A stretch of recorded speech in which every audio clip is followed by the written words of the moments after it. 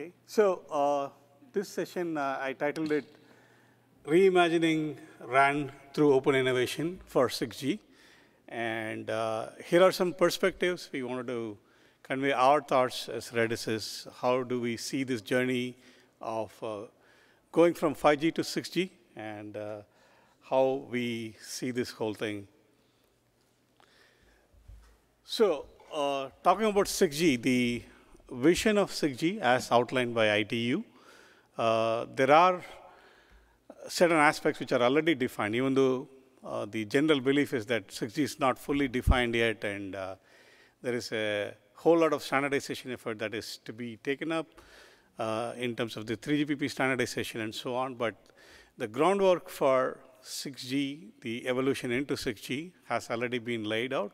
And ITU, the premier organization, the world organization, which takes care of the global standards, uh, they already have done the first step in setting up or laying out a framework of 6G, which I tried to crystallize in this one slide. It was it is a document available uh, with detailed description, but in terms of the usage scenario and the capabilities of 6G, I'm not going to uh, read all of the content, but uh, if you look at it broadly, it is a, a, natural evolution from the 5G capabilities, if you talk about it, and uh, all the elements of uh, the uh, connectivity, higher throughput, and uh, uh, connecting massive number of devices, all those elements are already there. So there are capabilities which are present in 5G, which are going to be enhanced. There are totally around 15 capabilities which we talk about, and maybe some five or five or six are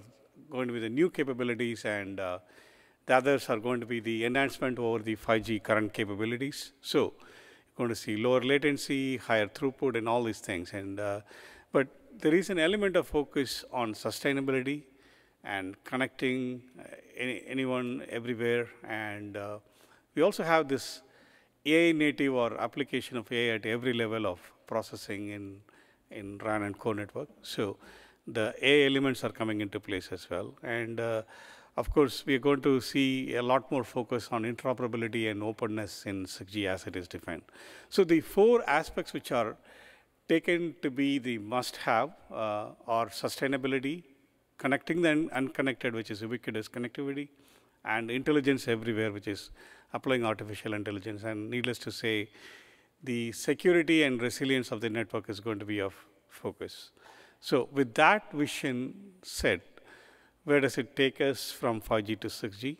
So we are right now in 5G advanced releases in terms of the standardization, release 18, release 19 and onwards. And we are seeing that we will win. 3GPP and other organizations have already initiated the study items and the work items for doing the fundamental study and research required for enhancing the capabilities and evolving into 6G. From our perspective, we see this on four vectors. One is the air interface, which will become smart or smarter. And uh, AI native RAN, when I say that, AI will be there in every element of the RAN network, including the radio. And we're going to need innovative platforms, which means hardware and the cloud platforms and all chipsets and so on.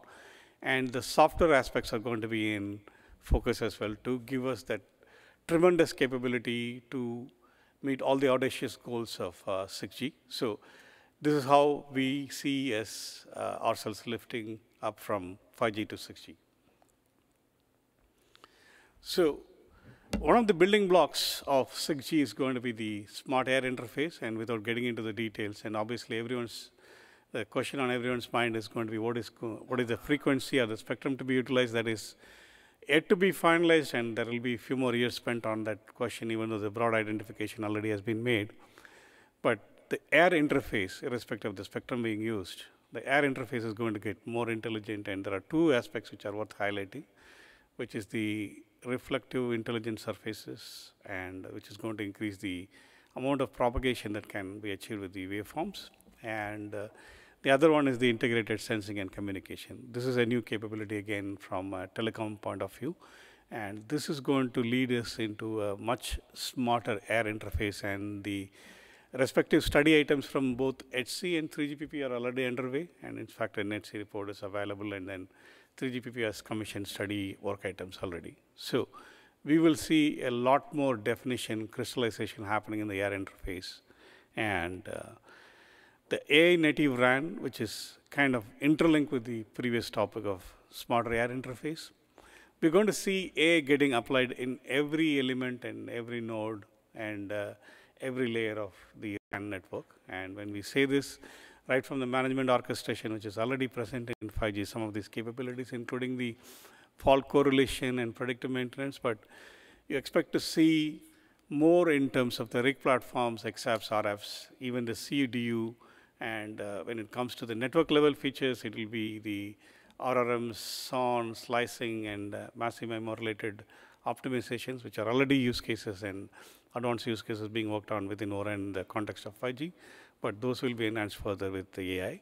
And you will see the CU and DU getting smarter, enhanced with the AI capabilities, with uh, decisions on handover, traffic steering, some of the scheduling related uh, AI application, and PHY algorithms, whether it's channel estimation and other problems. So we're going to see a whole lot of application and enhanced capabilities from the chipsets to uh, achieve the achieve those things. And in addition, we will also be smartly leveraging the edge cloud AI, edge cloud AI capabilities.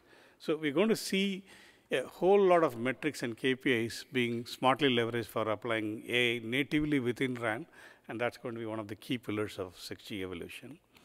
And uh, to deliver all these capabilities, which is high throughput and extremely low latency, we're going to see enhanced capabilities. We're going to need enhanced capabilities in base station hardware, radio, and underlying cloud infrastructure as well. So uh, this is a busy slide, or uh, a lot of details are there, but at a fundamental level, we're going to see the focus on energy efficiency simultaneously with the need to do all the processing with extremely low latency and high throughput. So we're going to need much more high, highly performance, high performance compute, and uh, all the enhanced network interface capabilities, hardware acceleration, and so on. And uh, same thing goes for your 6G radio as well. That electronics which are seen as complex in 5G, it's going to get even more complex in 6G radios. And with all the dynamic aspects of AI coming into picture, along with the essential need of uh, energy savings over there. So it's going to be very, very challenging to design platforms in 6G.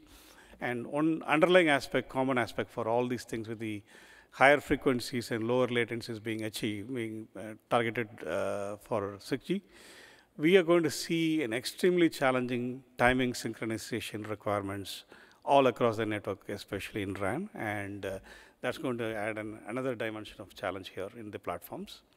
So needless to say, all of these have to be equally supported at the edge cloud and the uh, cloud infrastructure. So all of this is going to present new challenges for us in building the appropriate infrastructure in 6G.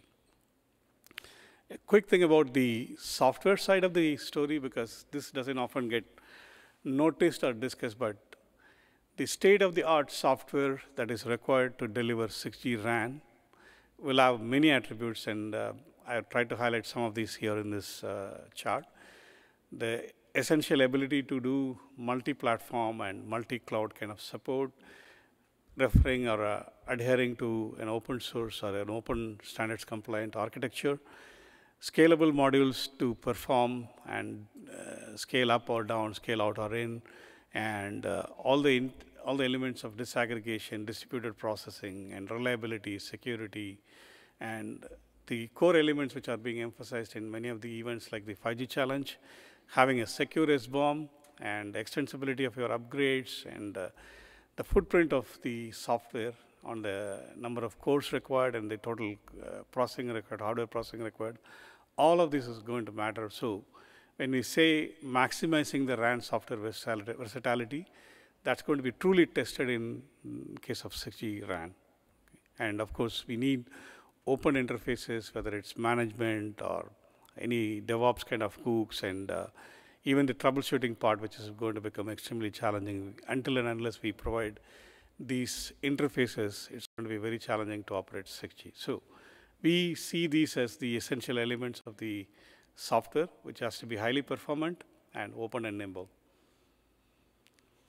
And uh, going by the theme of the day and what our uh, sessions have already covered, we are going to build 6G the open way, which means on the fundamentals of Open RAN. This means having open interfaces, having the level of disaggregation that is needed, multi-vendor network solutions, hardware software decoupling, and being cloud native. And one element which is still happening, which uh, Alex highlighted in the first session, keynote session today, a consistent management and control um, which is required for us to uniformly operate the entire network irrespective of the vendors. That's going to be one key element of how we build or evolve into 6G.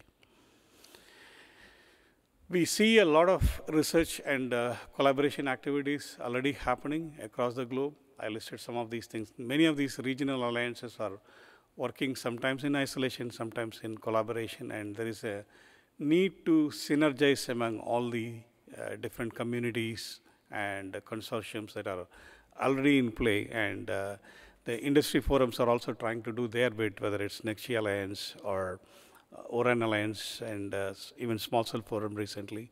So all of these have to converge and of course tapping into the research output which is happening as the primary input for uh, the evolution of 6G, especially the air interface, a lot of uh, good work which is being already done, investigations being done and the research output.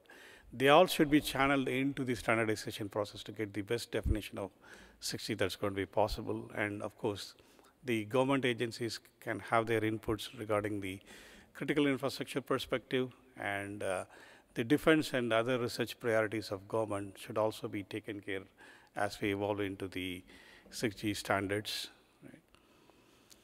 And what we see as the go forward path in this whole journey of evolution is the combined effort that is required, the collaboration that is required, the synergies that is required to channel all of this into the standards and the appropriate reference design through forums like Linux Foundation.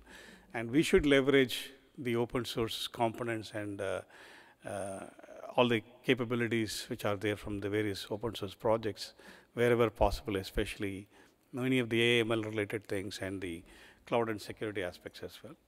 And uh, as we uh, saw in the previous slides, we have tremendous amount of challenges which are happening, which are going to be faced in the hardware and software both, which means we need a lot of innovation to happen at a silicon level and software level and cloud infrastructure level to make this base station uh, radio hardware ready for 6G.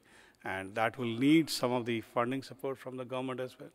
We will build platforms, reference designs, and the appropriate software capabilities, which should lead us to a much, I would say, cleaner, much more open 6G from where we are today. And that's our goal, and that should be our collective objective. Thank you for your time.